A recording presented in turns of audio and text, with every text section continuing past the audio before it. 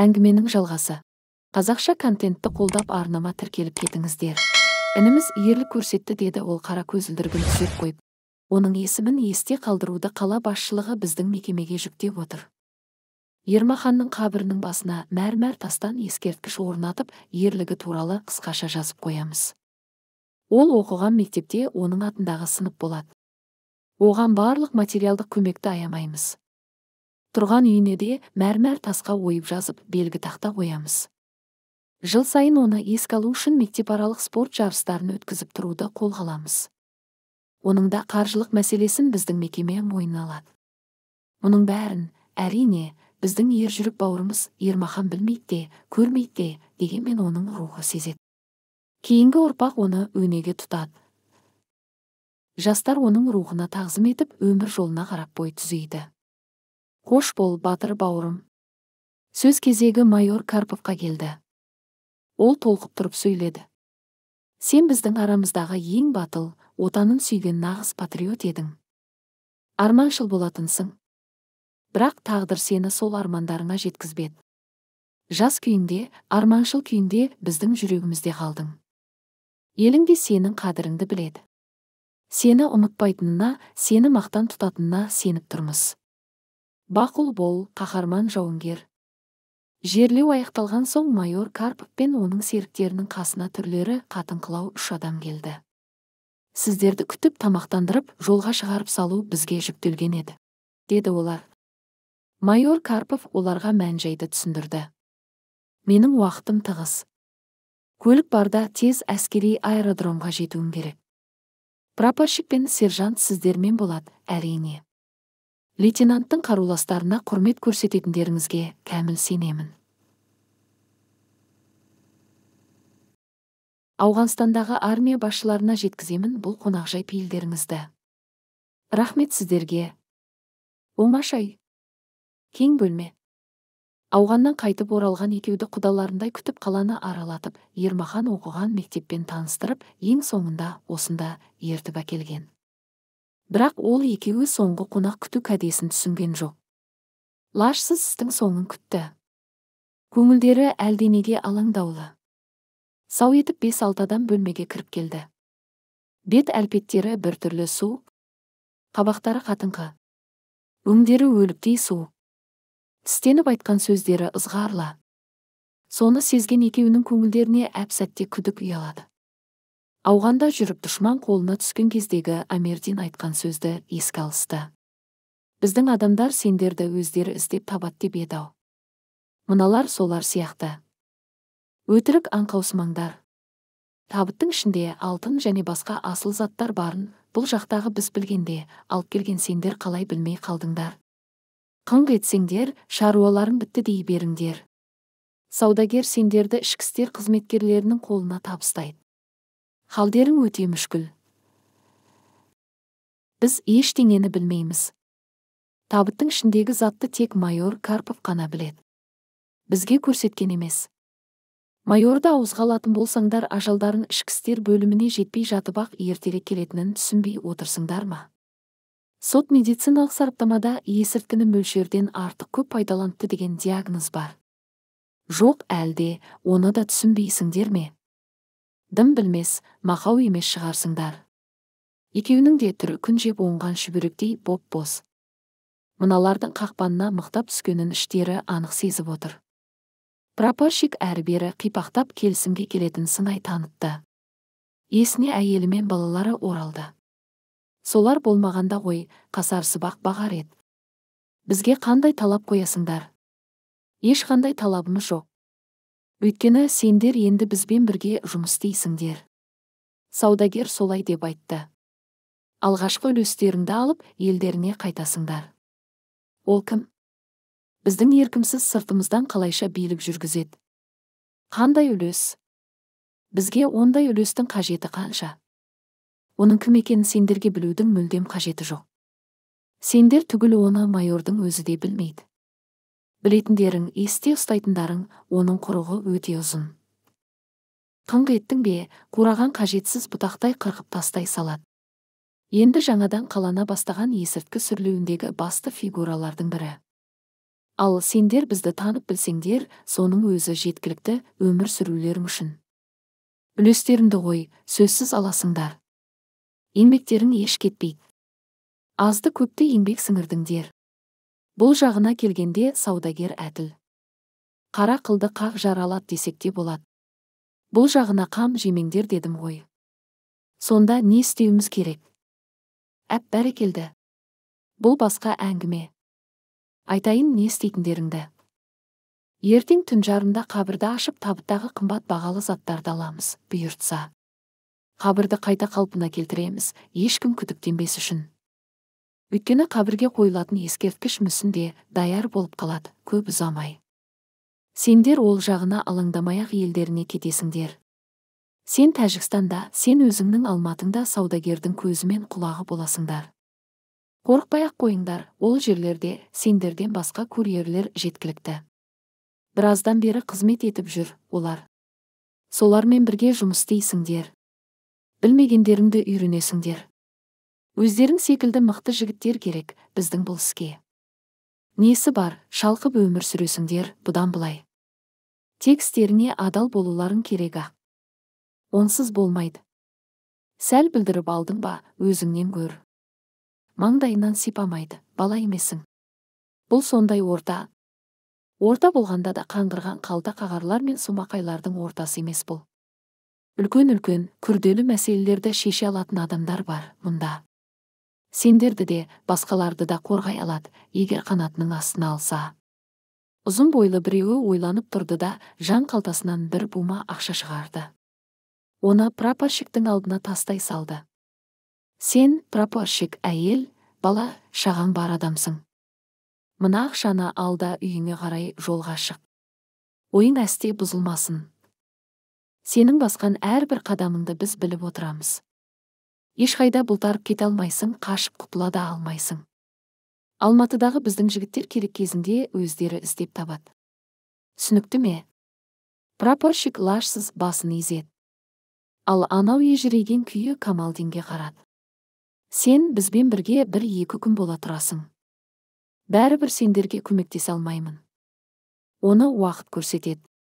Көмектеспей қайда барасың? Көмектесіп жүргеніңді сезбей отырмысың? Көмектесесің тағы.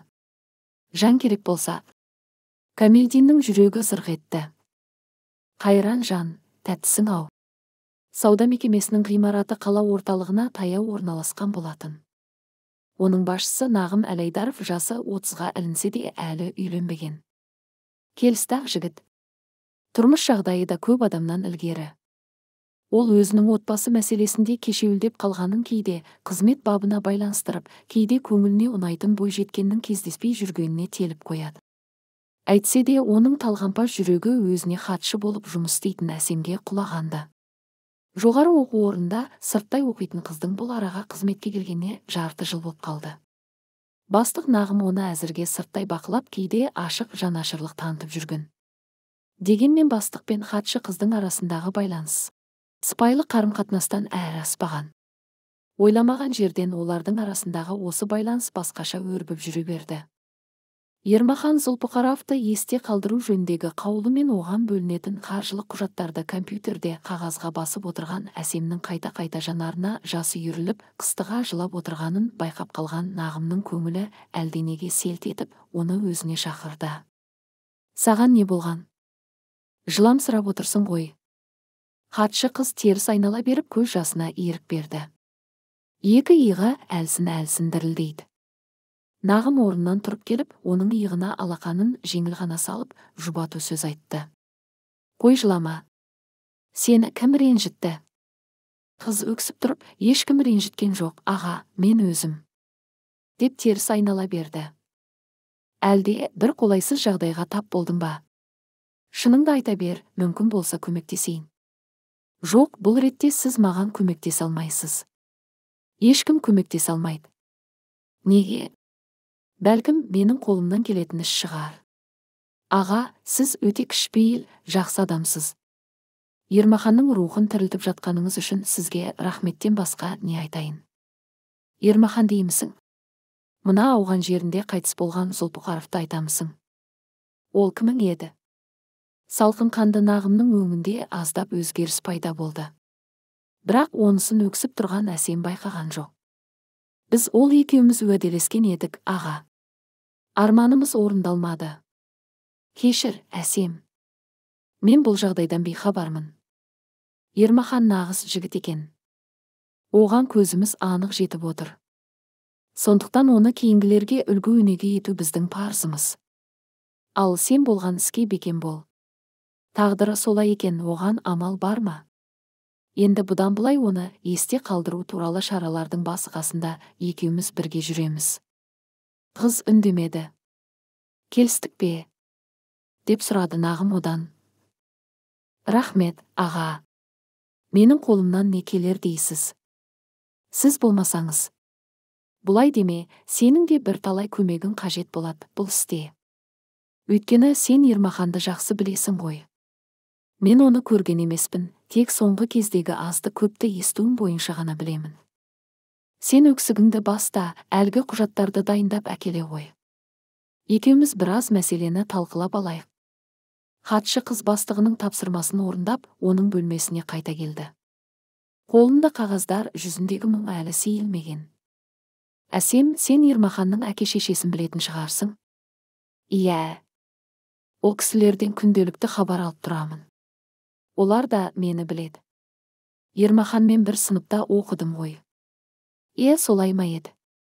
Саған қарағанда оның әке шешесіне өте қиын. Сен әлі жассың шыдарсың ау ал олар жер ортасына келіп қалған адамдар. Ауыр өте ауыр. Тірі қалған жалғыз перзенттер екен ғой. Олар бұл қайғыны көтере алмайтын секілді байқауымша.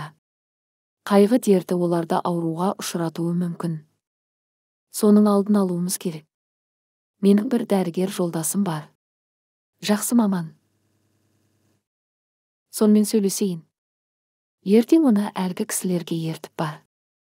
Денсаулықтарын тексеріп тұрсын.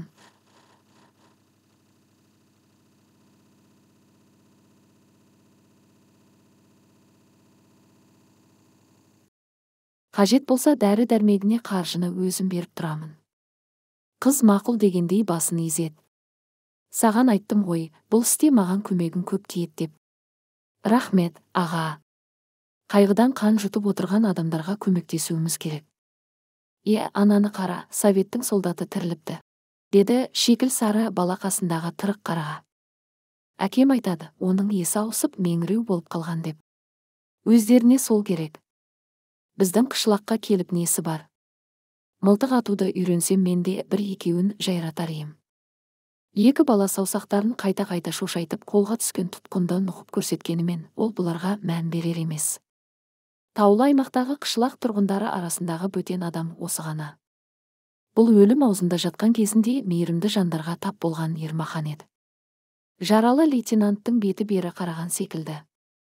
Аяғынан тұрды. Тамақ ішеді. Бірақ меңіреу адаммен жөндеп тілдесе алмайды өз бетінше сандырақтайды. Міне арадан екі үш ай өтіп кетті. Қыс түсті. Бұл болса жұқа әскери гимнастеркамен жүр. Үйден сыртқа да шыға бермейді. Сол баяғы меңіреу қалпы. Екі бала мұны әңгіме еткен күнгі түн ішінде кеңестер одағының әскерлері қышлақты қоршап алды. Атыс басталды. Сүт пісірімдей уақыттан соң лейтенант жатқан үйге он шақты жауынгер сау етіп автоматтарын кезеніп кіріп келді. Үйдегілердің ешқайсысында қару жоқ еді. Қолдарын көтеріп тұра қалды. Қоржын тамның кіре беріс тар дәлізінде меңіреу лейтенант отыр. Оның ешкіммен ісі жоқ. Сен кімсің? Қолға түскен тұтқынбысың. Анау жауап қайтармады. Әлдене деп түсініксіз күңк етіп қолын сермеді. Әй абайлаңдар сақал шашы қауғадай ғой. Өтірік жынданған дұшман болып жүрмесін. Тұла бойын тексеріп көріңдер. Жауынгердің біреуі лейтенанттың тұла бойын тінткілеп түк таппады. Ауғандардың біреуі орысша ежіктей сөйлеп мән жайды түсіндірді. Сендердің адамдарың! Мен аға ұрынып есінен алжасқан. Біз емдеп жарақатынан жазып алдық. Бұны неге өлтіріп тастамадыңдар? Түріне қарасаңшы мұсылман баласы ғой! Оның үстіне ешкімге зияны жоқ болған соң жүре берсін дедік өзіміз бейбіт өмір сүріп жатқан адамдармыз. Әй қайдам! Сендерге сену қиын. Есектеріңнің ер тоқыма арасына қару тығып алып жүре бересіңдер иықтарыңа орақтарыңды асып алып. Бейбіт жүрген бізде нелерің бар? Одан да мына адамдарыңды алып кетіп емдемейсіңдер ме? Бәрі де алланың қолында мүмкін жазылып кетер. Сөзге осы топтың командирі аға лейтенант мальцев араласты. Біздің әскерлер елге қайтып жатыр. Сен бізбен бірге жүр деді ол лейтенантқа. Лейтенант аңырайып тұрды да бірдеңе деп күбірлеп бұлардың соңынан ерді. Ташкент маңындағы әскери госпиталь ауған жеріндегі соғыста жараланғандарды емдейтін. Мұндағылар талай өндірдің өлімі мен мүгедек болып қалғанын көріп соған еттері әбден үйреніп кеткен. Сондықтан олар қатты жарылыстан есте сақтау қабілетін жоғалтқан ермаханға анау айтқан көңіл бөлмеді. Әскери дәрігерлер меңіреу лейтенантты әрі тексеріп бері тексеріп еске алу қабілетін жоғалтқан деп тапты. Аты жөнінде айтпайды құжаттары жоқ. Түр түсіне қарағанда азиат нәсілінен секілді. Бұл жігітті осында алып келіп табыстаған аға лейтенант мальцев ғана шырпыры шығып оған жаны ашып жүрді. Өзі москвалық болатын. Мен мұны москваға өзіммен бірге ала кетсем қайтеді деді ол дәрігерлерге.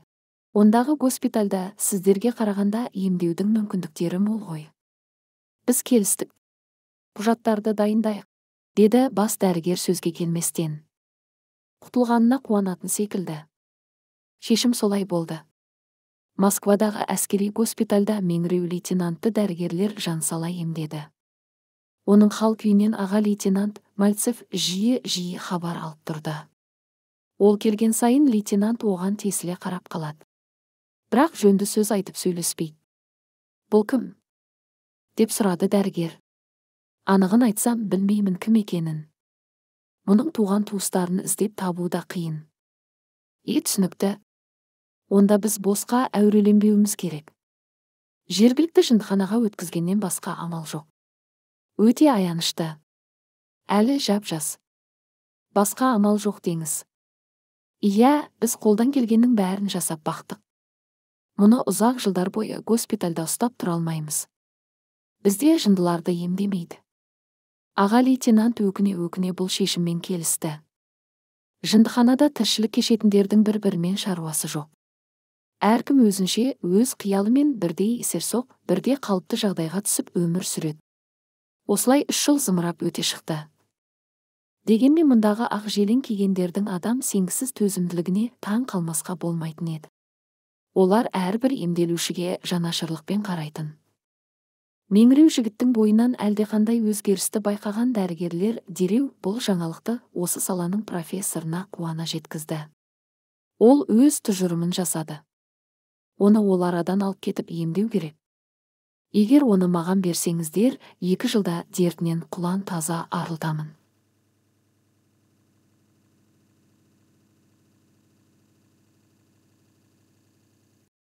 Айықтыруға болады оның үстіне ғылыми зерттеуім толыға түседі.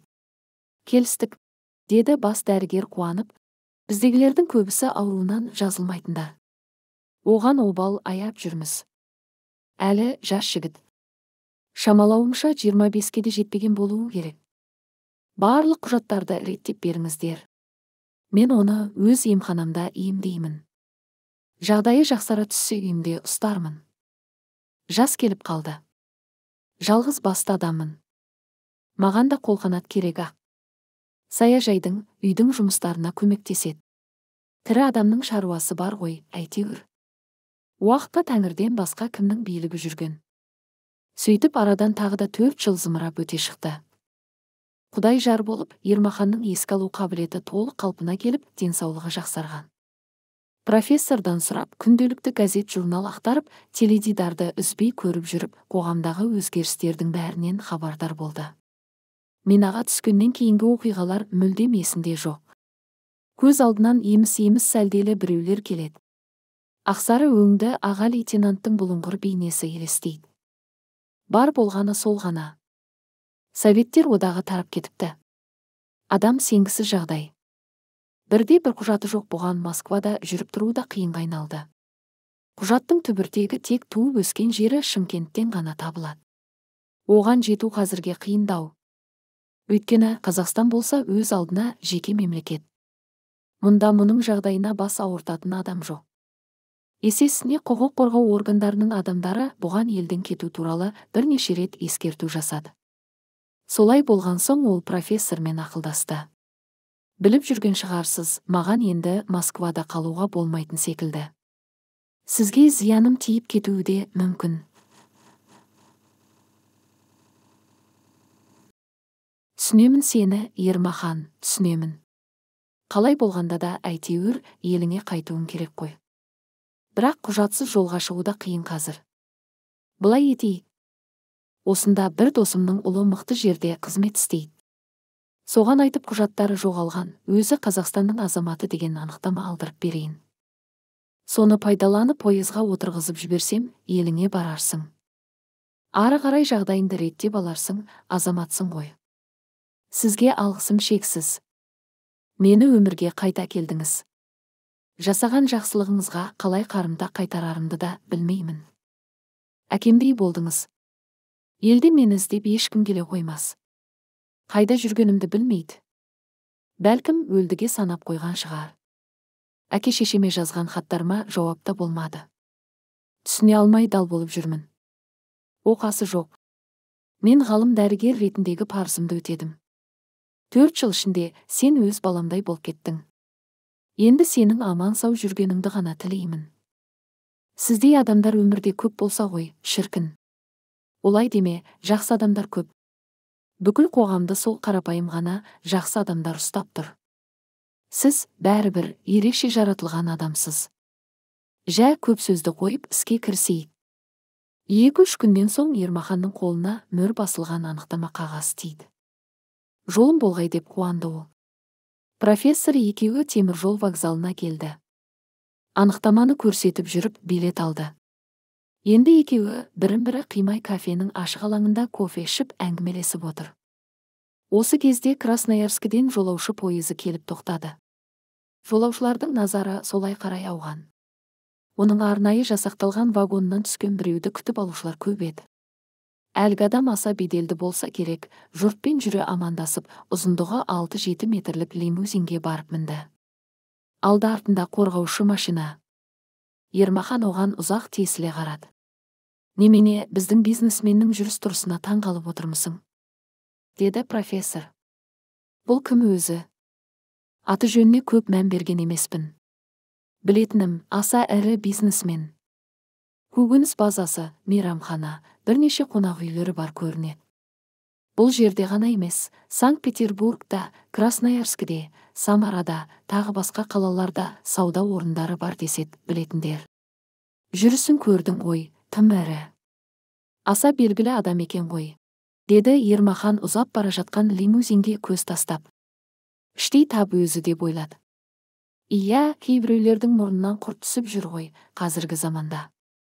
Пайыз бірқалыпты ыңырана жүйткіп келеді. Ермахан купедегі серіктерімен жұғысып кете алмай дәлізге шығып терезеден сыртқа қарап тұр. Әрі бері өтіп жатқан адамдардың арасында бірен саран азиялықтар да бар.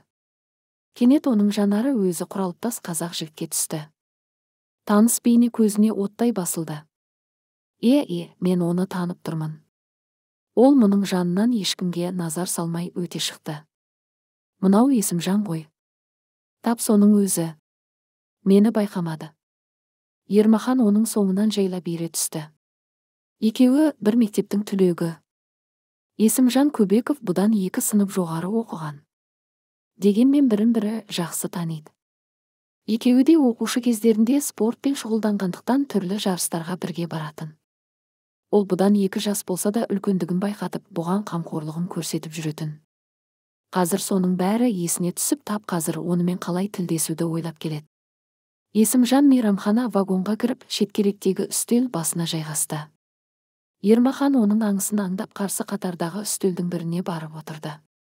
Ескі танысын сәл әріректен бақылап қайта қайта қарағаштап отыр. Бұл қазір болатын кездесудің сәтін ойлап өзін өзі сабырға шақырып тамаққа және сусынға тапсырыс берді. Өйткені есімжан қалың ойға беріліп ешкімге назарын салар емес. Даяш алдына барған кезде ғана селт етіп ол да тағамға тапсырыс берді. Олар тамақтанып болғанша жарты сағаттай уақыт өтті. Есептесіп орнынан тұра берген есімжан қарсы алдында өзіне тесірейе қараған жігітке көзі түсіп аңтарыла қарады. Екеуі де бір біріне не дерін білмей бір сәт тұрып қалды. Сөйте тұра жақындаса келе құшақтаса кетті. Апырау сен? Сен? Иә бұл менмін есімжан ау сен мұнда қайдан жүрсің? Өңім бе түсім бе? Мені қойшы мен тірімін ғой ал сен? Сені біз жерлеп едік қой шынымен ермаханбысың өзі? Иә ермаханмын жерлегені несі?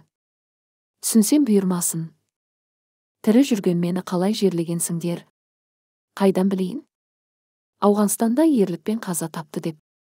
Содан табытыңды үш адам алып келіп улап шулап жерледік. Кәдімгі қаза болғандарды жерлеген секілді. Япырай тағы түсінсем бұйырсын. Қалай болған өзі? Есімжан сасқалақтап қалды. Дабырлап кеттік ау ермахан. Жүр тамбурға шығып оңаша сөйлесейікші. Өңім бе түсім бе ажырата алмай тұрмын. Әңгіменің жалғасын тыңдау үшін төмендегі описание бөліміндегі сілтемеге өтіңіздер. Қазақша контентті қолдап арнама тіркелуді ұмытпаңыздар. Және де менің каналыма кірген кезде осы жерде плейсте деген бөлім бар. Осы плейсте бөлімінен өздеріңізге керекті видеоларды пайдалы кеңестерді аудио кітаптарды және де қазақша әңгімелер және де жаңадан шыққан әңгімелерді тыңдай аласыздар. Арнама тіркелуді ұмытпаңыздар. Жетпіс мың оқырман бар екен жүз мың оқырманға жету үшін бар болғаны отыз мың оқырман қажет. Сондықтан давайте бәріміз арнама тіркелуді ұмытпайық.